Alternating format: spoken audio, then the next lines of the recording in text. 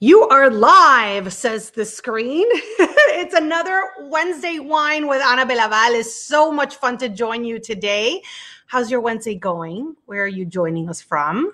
Have you poured yourself a little something? Something, whatever gets you through, even if it's not booze, even if it's chocolate cake, even if it's whatever is your indulgence, chips, salty, savory, whatever go ahead, bring it over. Let's have a great conversation among us and learn something from each other. It's Wednesday Whine live from Chicago. I'm Ana Belaval. And as you know, I started this during the pandemic because I was um, connecting to all of you. And on a Wednesday, which is my hardest day of the week, I don't like Wednesdays. And I hate saying that because my daughter was born on a Wednesday, but I pretend she could have been born on a Tuesday.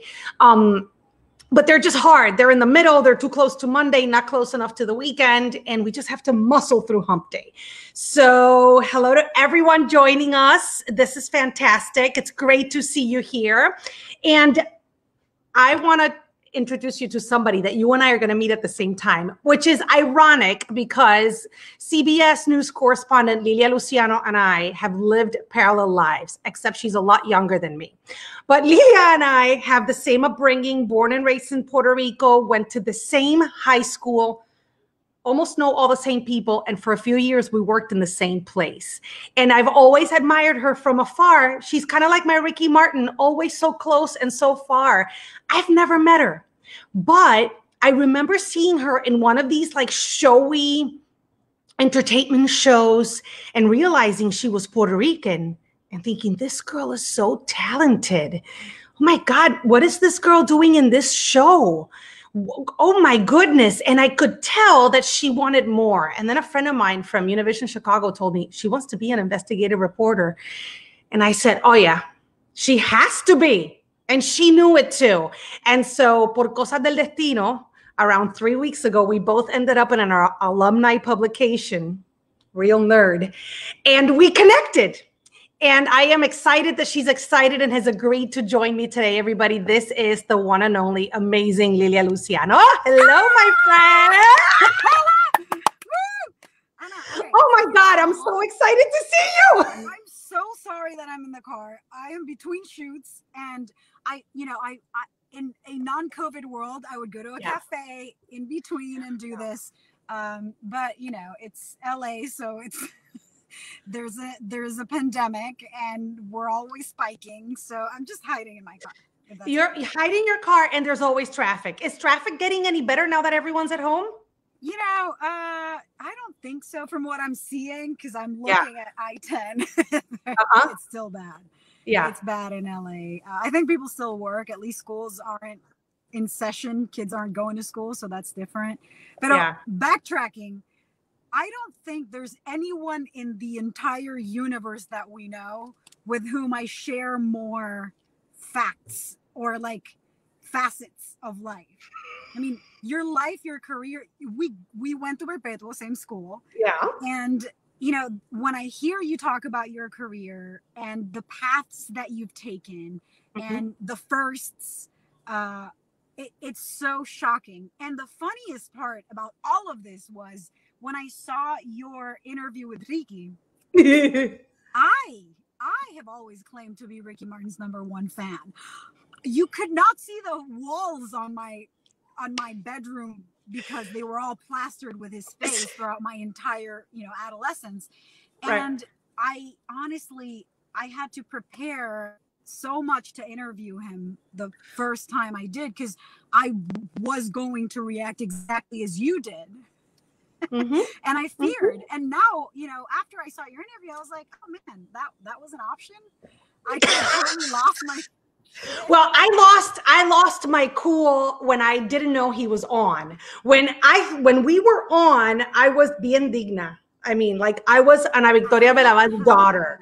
Oh yeah, because it was yeah, a satellite yeah. interview, and I was like bien digna, and I, I I thanked him like my mother would for you know helping us out during the hurricane, and then. I asked him a couple questions, and then they went off the air, and I thought that we were off the air. No oh, one told me he was oh, listening. Oh, I was oh, I, so I, I I knew I was on the air in Chicago with my coworkers And they said, Belaval, we've never seen you this giddy. Oh my God. And I yeah. said, You don't understand when you're a member of a minority and somebody, you know, uh, from your island that sometimes has mm-hmm. negative connotations all over the world makes it, and you can say his, you can say Puerto Becomes Rico. God.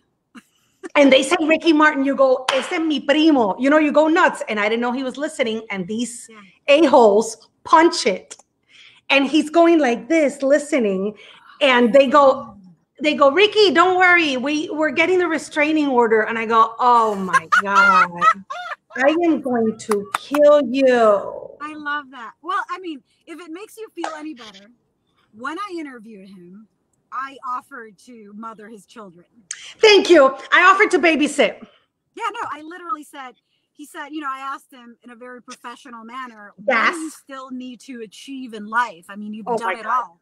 And he said, well, they say that every man has to, you know, write a book, have a child, and plant a tree. And he said, I've planted many trees.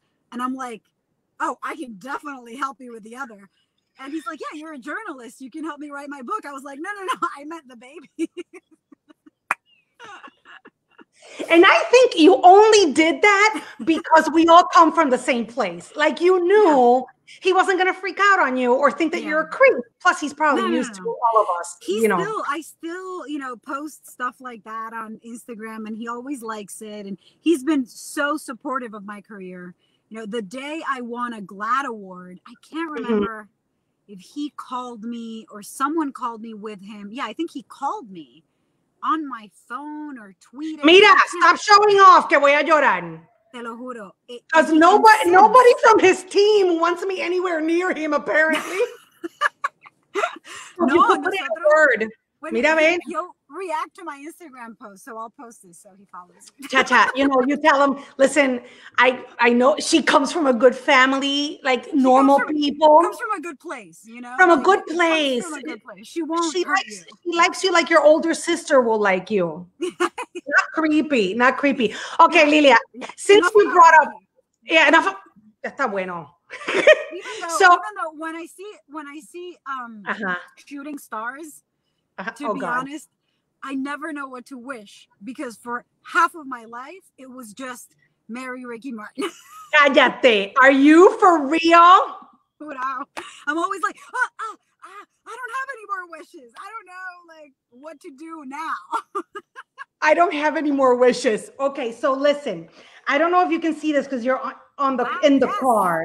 Okay, this is how much we have in common. So wow. tell me, uh-huh. Lilia started her career at uh, a Spanish show called Escándalo TV.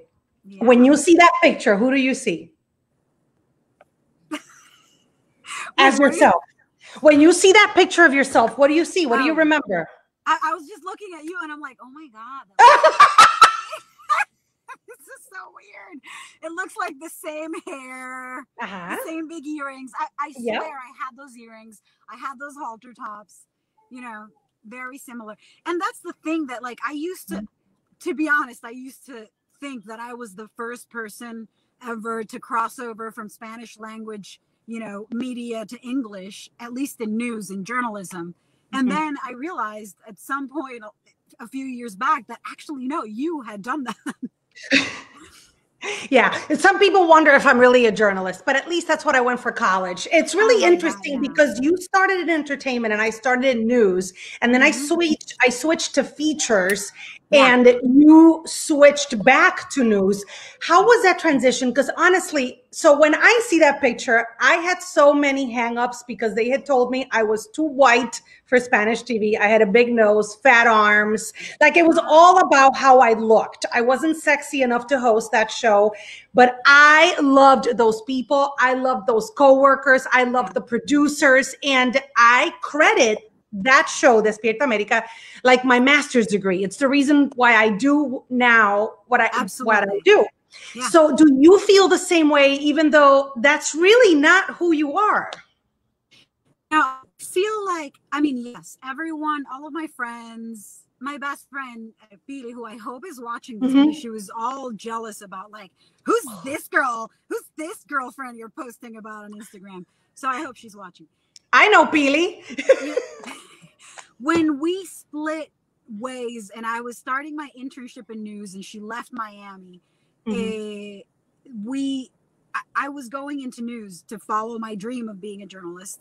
Mm-hmm. And we kind of lost touch for a little bit. And I remember finding her years later and she was like, I remember leaving you in news and then mm-hmm. I caught up and I saw you on TV and it was like, who is this? Like that was uh-huh. never you. Uh-huh and you know and part of it part of the persona part of the you know the extensions and the lashes and, mm-hmm. and, as i say this i am totally wearing fake lashes now so i'm like now back to embracing makeup but for the yep. longest time i rebelled against it i wouldn't even wear mascara lipstick sombra nothing um, because I felt like I somehow needed to prove that that Escándalo persona is not who I was.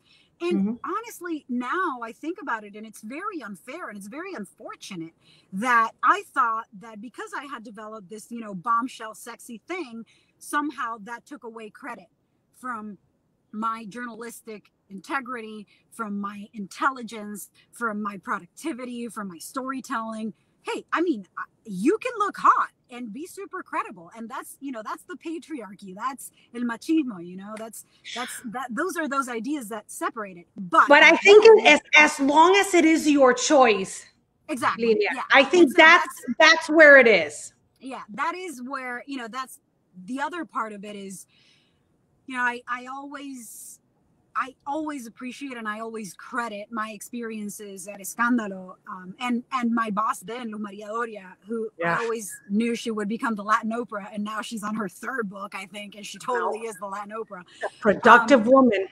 Productive, brilliant mm-hmm. storyteller, brilliant interviewer, brilliant leader. She always, you know, believed in me and knew that there was so much more that I could do. And she always celebrated my smarts. She allowed me to do all kinds of crazy stuff. Like, okay, Luma, I'm gonna go do a behind the scenes special with Wisin y Yandel in Colombia in their private plane.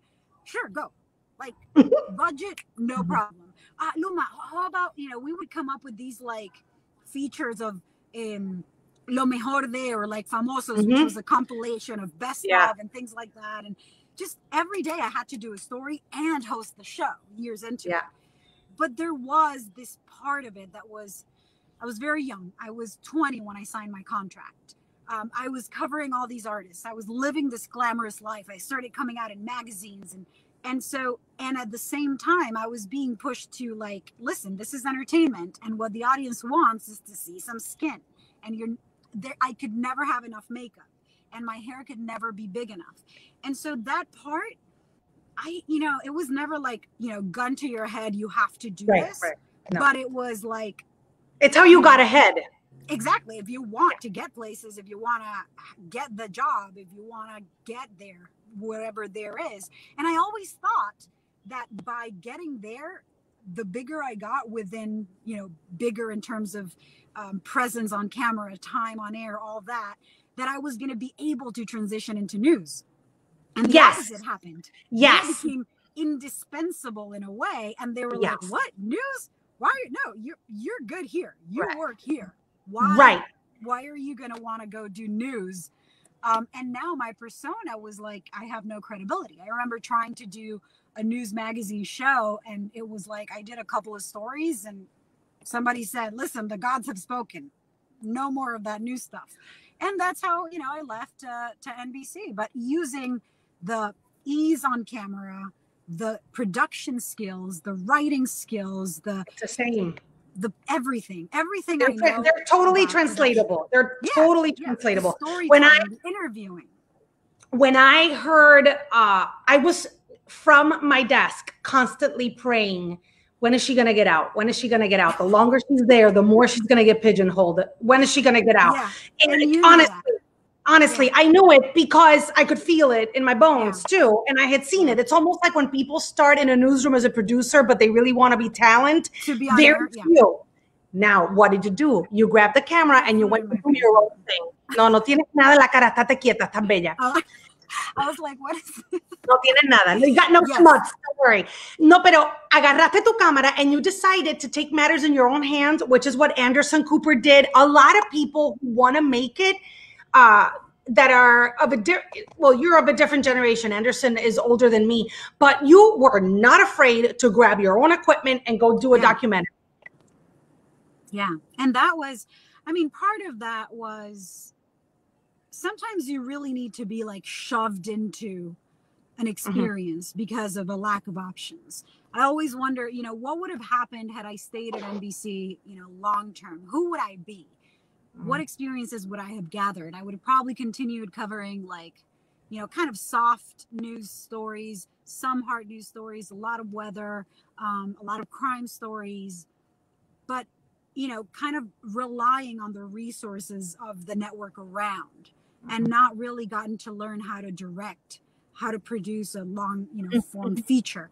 I, Mhm. you know, become an actual investigative reporter, uh, travel on my own, risk my life, discover my passion for the adrenaline stories that matter, you know, the high adrenaline, and really discover my voice. I, I feel like up until recently in a way up until i moved to sacramento and started working at abc 10 i always was kind of in a way having to play a role you know initially it was the bombshell which i Mm. mean i mean i never felt i can't i mean you can ask anyone in perpetuo i was popular it's not like oh i was this dork and then somebody put makeup Mhm. on me and suddenly i didn't know how to walk on heels that wasn't me i was always like makeup and things like that but Mhm. i you know the whole bombshell thing was just not my style Mhm. I had to play that role. I had to play, you know, coqueta on camera. And then when I went into news, I wanted to bury that. I didn't, I remember people finding out. I remember uh, somebody who's now a friend wrote an article for Huffington Post that was comparing my image at Univision and my image at uh, at uh, NBC. And I, it, o sea, yo empecé a sudar frío. I remember I was like, oh my God, they're going to find out that I was doing silly television, you know, like, Mhm.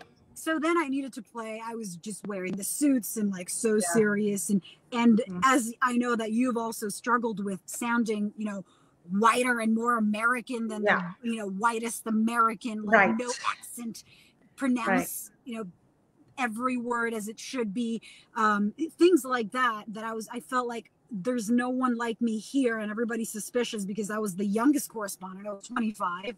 I came from Spanish language TV and I Mhm. came from entertainment. So I had the mm-hmm. worst imposter syndrome ever. So I was kind of playing that role. Then I started freelancing for Vice and I was like, well, you know, I'm not like the ultimate hipster with like a face tattoo, you know. I have I brew I tattoos. brew beer. I brew beer. I Yeah, smoke like- weed. I I drink kombucha. Yeah, well, I, I know you do. I know you do, California. pero nena, you live in California now. You live in California now. That's a function of California.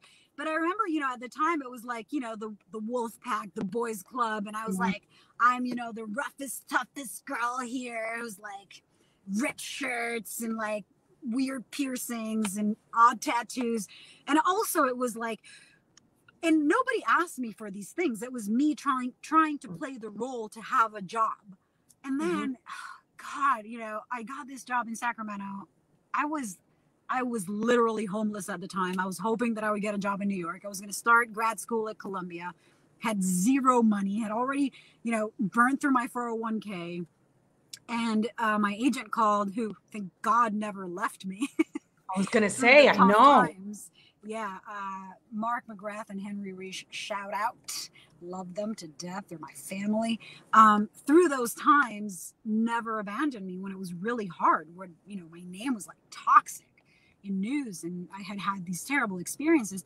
So they, you know, they said there's this job in Sacramento. It's local. They're looking for an investigative reporter. They love you. You should take it. And I was like, what? No, I no, no, no. I'm doing the Vice thing. I'm doing the New York thing. I'm, you know, and at some point, um, I remember, and I, actually, Henry, yeah, my agent asked me, where, where, what are you up to? Like, I think he was probably asking to see, you know, come over, let's meet or something. Let's talk about this. And I was like, oh, I'm on my way uh, for a job training. and he's like, oh, really? Where? And um, I'm like, well, as a hostess at a restaurant in the village, which like less than minimum wage, you know, pay to live on my cousin's couch. So I took that job and thank God I did because I was able to just tell the stories that I cared about, be, you know, have my voice, cover everything from you know the true crime stuff that I'm addicted to in my spare time to the housing right housing crisis that Tengo un problema. me My family's worried. oh yeah yeah yeah Sí, porque yo todo lo, everything I see. yeah, Yeah. many of us I, I'd like some recommendations. I'm running out. oh my gosh yes yes I have so many I have so many I'm, I have actually stopped it quite a bit lately and I think it's only because I ran out Yeah. Not not because you not because you were worried, not because your husband was like, I think you're gonna hurt somebody. he makes fun of me. He's so disturbed. Like, you know, he walks into the room and I'm like, leave me alone. I'm relaxing. Meanwhile, I'm watching the, you know, the the new Netflix uh Ramirez series. What's it called? The Night Stalker series. Oh, just saw it. Just yeah, saw it's it. so good. So good. But um uh, sorry, you froze a little. You saw I haven't finished it, but I love it. No, no, no. No. Back. You're back. So yeah, um in Sacramento you could do all that and and kind of like also I love that you said that you found your roots kind of taking a few steps backwards because after being in the network I know what you meant that Yeah. you didn't want to go to Sacramento and and that you didn't want to work in a regular newsroom when you weren't going to be hip and you just had to you had to find that ground again. Yeah and and it's like everybody who believed in me knew it from my agents Yes. to my dad Yeah. to the news director there to my mentors uh, everyone who knew me and knew what i was capable of doing just my mom of course they Yeah. all knew like this is the right thing and that was at the time when my grandmother died eh, Yeah. Belda gonzalez Yeah. she died exactly when i had when i was pondering uh, that job offer and so it was kind of a spiritual you know message del mahaya i used to always ask her for advice professional advice. She did everything lived the most purposeful life of anyone i know. And i and i kind of in my own introspection kind of asked her and the answer was so clear. You know i, I remember i went from her funeral to the interview or to the training or something. Yeah i think to the interview.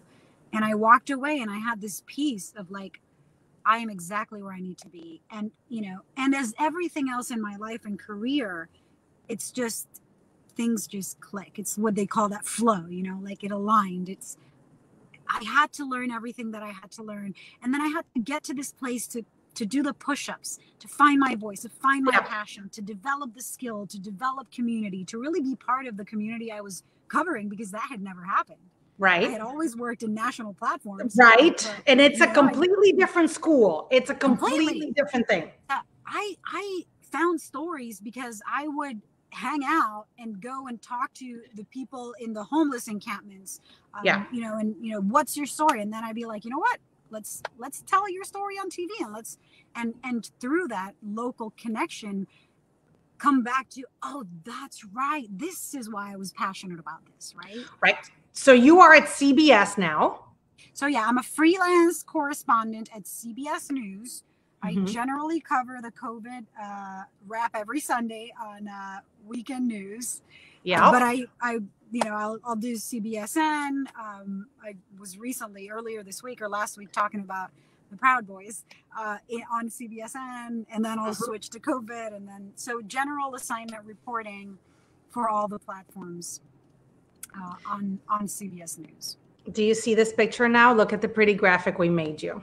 You Are you it? just doing this to show that I haven't aged a day in the There 10 years that have passed Mhm, Girl. No, you haven't. photo and top because- This is the Caribbean oil we all have. I saw your mom. You've got good genes too. Oh yeah, my mom. Yeah, I definitely do. Yeah. Oh yeah. We age well. Yeah, definitely, definitely. I honestly can tell how comfortable you are with yourself now, and it makes me extremely happy. you know that photo uh, where it's it's me tossing to Meredith Vieira was my first story on the Today Show. Mírate el pelo. man. I was. I mean, pff, Mírate el pelo. I was so scared. I it know. was a story about this girl who had who had there was an intruder in her house and she attacked him with a pink gun which if you're puerto rican that pink gun is a joke that can sound like something else if you say it fast enough right Mhm. it was an actual every time they mentioned it they said pink gun and i was like oh my god i'm gonna say pink gun on air Eh, sí.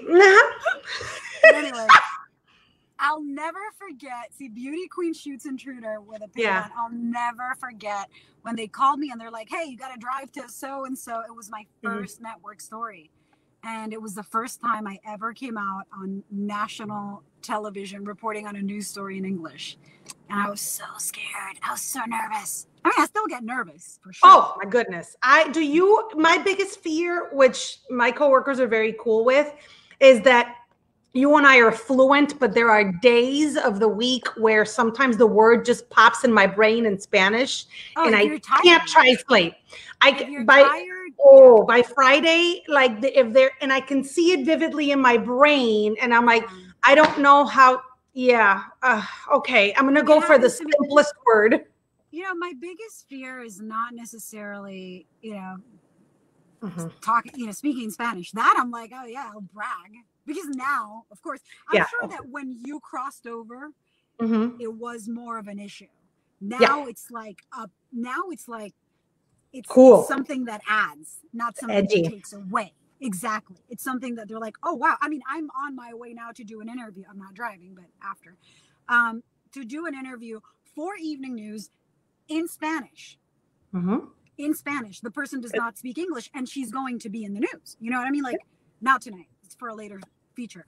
But um but the idea is is I I think I think we have as a community demonstrated the importance of being bi- bilingual and the advantage that it is that we have to be able to communicate so well in in both languages. But I think back then it might have been different. For me the biggest fear I'm I'm like a I'm a bit of a space cadet.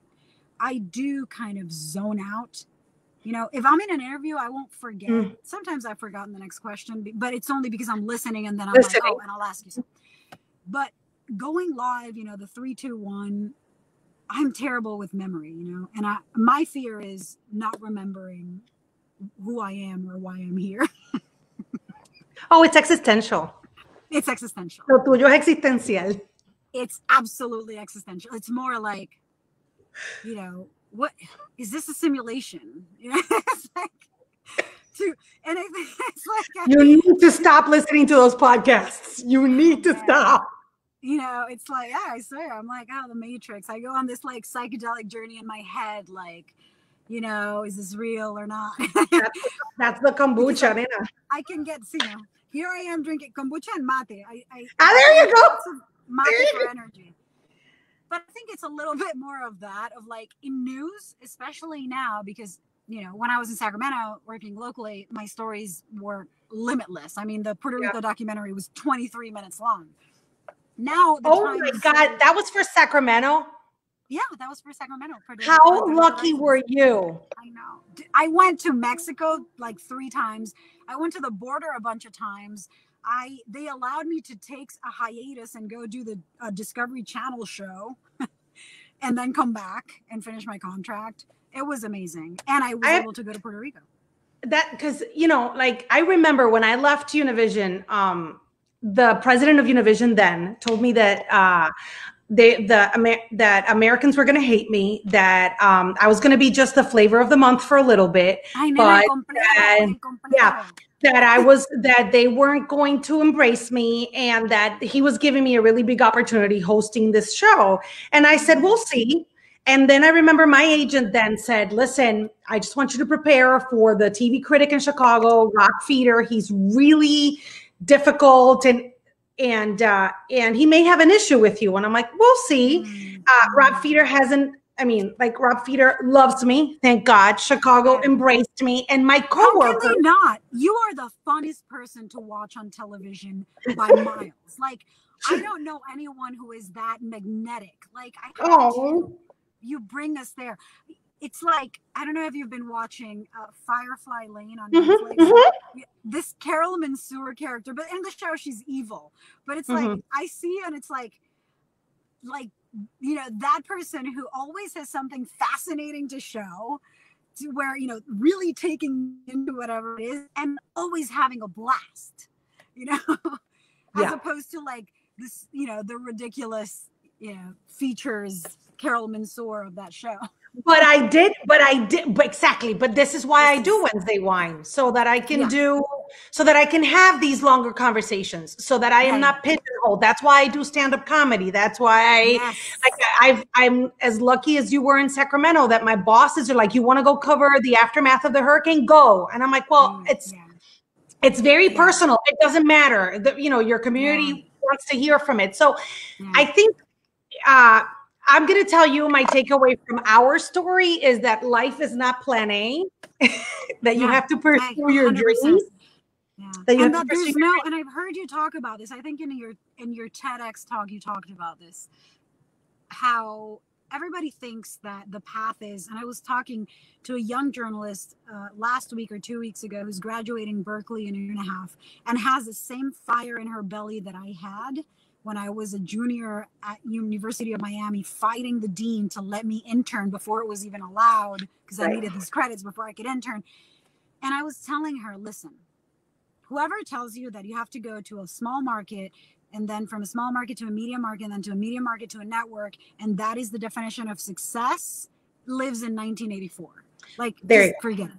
You, you do you. You find your voice and right now the more you know the most interesting journalists some of the most interesting people doing the most interesting things out there in journalism are people who didn't even in broadcast journalism who didn't necessarily follow that path you know? And it's like why are things formatted in this way? And it, and i said unfortunately until that changes i would recommend for you to just avoid that path because you're going to become jaded in the Mhm. process because there's going to be people who tell you a million ways i mean in a million different ways that you know what? That's not how you should do it. This is how you should do it. And by the end of Mhm. that you know i have friends who are brilliant just perfect in terms of like their their their storytelling their their camera work and they've been told that they were doing it wrong so many times that they completely lost who they were and we're all Yeah. subject to that i mean i did too Yeah. but i feel so fortunate that i've had such a diversity of of platforms and places that have picked up my stories that it's like an amalgamation of all of those different brands and styles and whatever and at the end of the day it's way too confusing to be all those people for all those different platforms so it's like i'm just gonna be me and Exactly. like me air me And that's the advantage you guys have now. When I started, I had to follow that path, and I was lucky because I had Spanish. I was fully bilingual, Yeah. and I could go to come to Chicago to do news at the number three market in Spanish at age 21. Now you, I it's what I tell I tell the the same kids that approach me. I'm like, start your own YouTube channel. Go do whatever documentary you want. Airtime is airtime. I'm watching stuff on YouTube, and I'm 46. You know, exactly exactly so and that's um, going to stand out. I mean, if you have, Yeah. I don't know, a hundred people sounding the same, doing the same, dressing the same, telling the same story in the same format, like how how are you going to stand out? well, my friend, thank you so much for joining me. I know you have an interview coming up. I have a I have traffic on that. I know. How long is it? How long is it going to take you? No, you know what? I made sure to park close enough, so I'm probably going to be in the interstate for like ten minutes and then get off. All right. Well, I'm so happy that you're happy. I'm I'm happy that you are able to show the world how amazing you are. And now and now we're connected. Whatever Yes, you I need. have your phone. Now we need to do this, but like without the audience, so we can actually like trash talk all we want. Exacto. Exacto. It was great to see you, love. with wine next time. I know. Yes. Thankfully, you didn't do it this time because you were driving. Come on. I'm driving. And I'm going to just so you guys know, you can um so this is oh crap. You know what? I wanted to talk about guerreras ajenas. Tell me about that. Guerras. I'm sorry. Well, Go ahead. that's how that's the more like feminist version of guer- of guerras ajenas. Um, Oye, lo so leí, lo leí cuatro veces y lo leí mal. No worries. My my biggest passion, uh, subject wise, or you know, series of passions are within like the way that black markets work and the failures of the drug war. And so, um, when I was kind of figuring out what to do next with my life and career, I decided to I wanted to do a documentary. I had been it was 2012. Marijuana had been legalized recreationally in Washington and uh, Colorado at that time. So I realized that drug policy was about to take a massive shift in the U.S. And so I I decided to come up with that this idea to do a series about the consequences of the war on drugs throughout, you know, South Central America coming into the U.S. And so I went to Colombia uh, with a. I hired a friend of a friend who was doing music videos, and I was like, "We're gonna do a documentary." He was Colombian. He was shitting his pants. he was like, He's like, "Where is this Puerto Rican crazy woman taking me?" Claro. I was like, I'm not Colombian, so I wasn't too aware of how the park were. I was like, well, they said we might get kidnapped, but I don't think that's gonna happen. It was like, no, we're leaving this town now.